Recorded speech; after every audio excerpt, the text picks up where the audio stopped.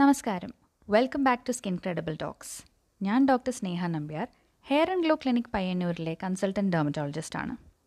ഇന്നത്തെ വീഡിയോയിൽ ഞാൻ പറയാൻ പോകുന്നത് സ്കിന്നിലെ ചൊറിഞ്ഞ് പൊട്ടി ഒലിക്കുന്ന പാടുകൾ അതായത് ഊസിങ് വെള്ളം വരുന്ന പാടുകൾ എങ്ങനെ നമുക്ക് വെറും ഉപ്പുവെള്ളം ഉപയോഗിച്ച് മാറ്റിയെടുക്കാം എന്നാണ്. ഇങ്ങനെയുള്ള പാടുകൾ സാധാരണയായി കാണുന്നത് എക്സിമ ഡെർമറ്റൈറ്റിസ് അങ്ങനെയുള്ള കുറച്ച് അലർജിക് സ്കിൻ കണ്ടീഷൻസിലാണ്. കൂടാതെ സ്കിന്നിലെ ചില ബാക്ടീരിയൽ ഇൻഫെക്ഷൻസിലും വൈറൽ ഇൻഫെക്ഷൻസിലും ഇതേപോലെ ഊസിങ് കാണാറുണ്ട്. അപ്പോൾ എല്ലാവർക്കും അറിയാം ഉപ്പ് ഒരു ഫലപ്രദമായ ചികിത്സാ രീതിയാണെന്ന്. പക്ഷേ ഉപ്പുവെള്ളം ഉണ്ടാക്കുന്നതിന്റെ കണക്കാണ് പലപ്പോഴും തെറ്റുന്നത്. ഉപ്പുവെള്ളം ഉണ്ടാക്കുമ്പോൾ ശ്രദ്ധിക്കേണ്ട രണ്ട് കാര്യങ്ങളാണ് ഉള്ളത്. ഒന്നാമത്തേത് കോൺസെൻട്രേഷൻ രണ്ടാമത്തേത് ടെമ്പറേച്ചർ.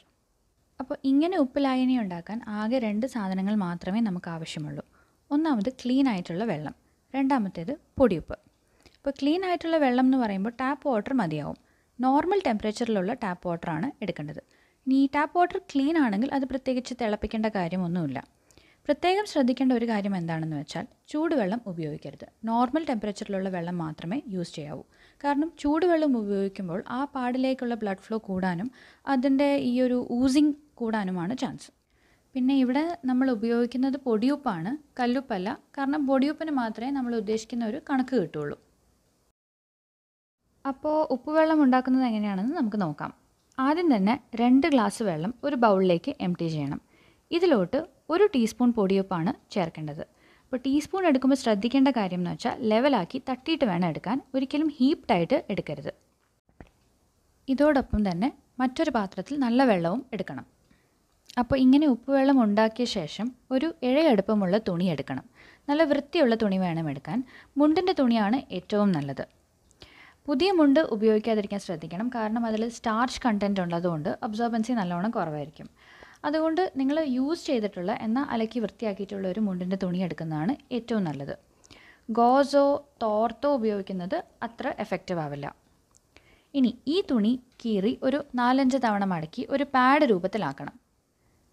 ഇനി ഈ തുണി നമ്മൾ നേരത്തെ ഉണ്ടാക്കി വെച്ച ഉപ്പുവെള്ളത്തിൽ മുക്കി പിഴിഞ്ഞ് പൊട്ടി ഒലിക്കുന്ന പാടിൽ ഒരു രണ്ട് മിനിറ്റ് നേരം വെക്കണം.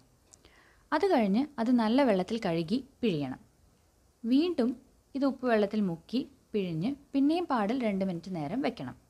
ഇങ്ങനെ ഈ ഒരു സൈക്കിൾ ഒരു അഞ്ചാറ് തവണ കണ്ടിന്യൂസ് ആയിട്ട് ചെയ്യണം. ഇങ്ങനെ ദിവസത്തിൽ ഒന്നോ രണ്ടോ തവണ ചെയ്യണം. ഇനി അഥവാ കാലിലോ കയ്യിലോ ഒരുപാട് പാടുകളുണ്ടെങ്കിൽ തുണി വെച്ച് ഉപ്പുവെള്ളം പിടിക്കുന്നതിന് പകരം ഉപ്പുവെള്ളത്തിൽ കയ്യോ കാലോ ഒരു പത്ത് മിനിറ്റ് മുക്കി വെച്ചാൽ മതി. ഇതേ കണക്കിലാണ് ഉപ്പുവെള്ളം ഉണ്ടാക്കേണ്ടത്. ഒരു പത്ത് ഗ്ലാസ് വെള്ളത്തിന് അഞ്ച് ടീസ്പൂൺ ഉപ്പ് വെച്ച് ചേർത്തിട്ട് ഇതിനുള്ള ഉപ്പ് വെള്ളം ഉണ്ടാക്കാവുന്നതാണ്. അപ്പോൾ ഇങ്ങനെ ഉപ്പ് വെള്ളം ഉണ്ടാക്കി പിടിച്ചാൽ പൊട്ടി ഒലിക്കുന്നത് നല്ലോണം കുറയും. അതുപോലെ തന്നെ ഇങ്ങനെയുള്ള പാടുകൾ നല്ല വൃത്തിയാവുകയും ചെയ്യും. ഇന്നത്തെ വീഡിയോ എല്ലാവർക്കും ഇഷ്ടപ്പെട്ടു എന്ന് വിചാരിക്കുന്നു. സംശയങ്ങൾ എന്തെങ്കിലും ഉണ്ടെങ്കിൽ കമന്റ് ബോക്സിൽ ഡ്രോപ്പ് ചെയ്യുക.